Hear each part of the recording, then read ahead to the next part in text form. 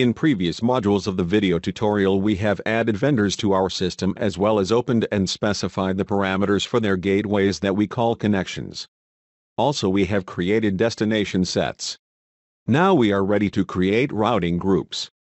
A routing group is a combination of destination sets and the assigned rules of selecting routes from this combination which we call routing policies. In the Routing Groups tutorial module we will show how to combine destination sets into one group and tie together vendor connections and destination sets. We will also define the policy on how the system choose to route calls through the vendors in case of availability of several alternative routes.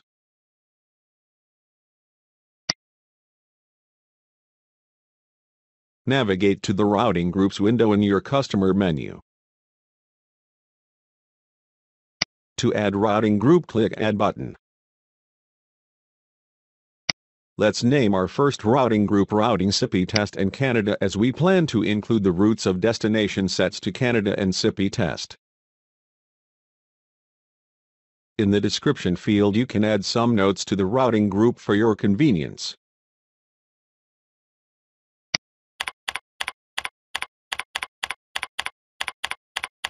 Let's let's assign an active routing policy to this routing group. Routing policies are the routing rules, defining Sippy's route selection criteria. To learn more about routing policies available in the system you may watch the Routing Policies tutorial module. The active policy box represents the currently assigned policies and their priority in routing decision making. If more than one is active, the highest in order will apply routing rules first. If more than one route is found, the second active policy will determine the next rule for routing the call. Simply use the include, remove and up and down buttons to configure your routing policies as you prefer.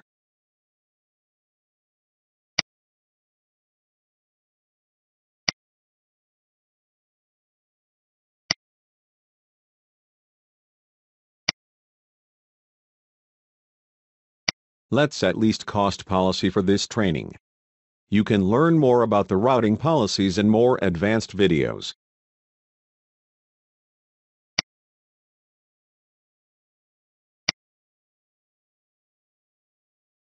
As previously mentioned, we can combine several destination sets in one routing group. This is done by creating routing entries. In each routing entry you also tie destination sets with respective connections and vendors. When creating the entries you need to make sure that each of the destination set tied with proper vendor and connection. This method of routing truly offers you unparalleled flexibility in managing your routes across as many suppliers as you prefer, benefiting you with maximal control and increased revenue potential. Let's first add Green Canada destination set and tie it up with the vendor and connection supporting this destination set.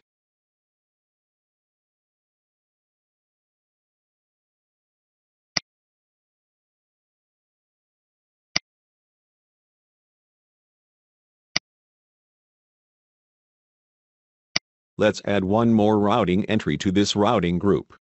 Press green plus sign to save changes to first routing entry and add one more.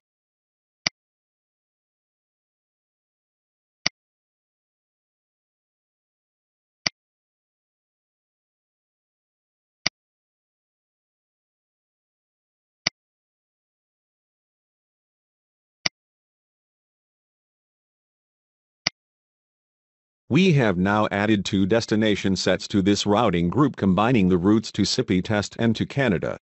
Press Save and Close button.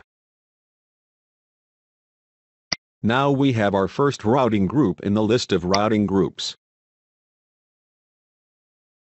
We have also added one more routing group that combines one Sippy test destination provided by Green Telecom vendor and the same Sippy test destination provided by Vega Telecom vendor. We called this group All Sippy Test. Now we are ready to proceed to configuring the system for our clients, namely to create tariffs and routes as well as accounts.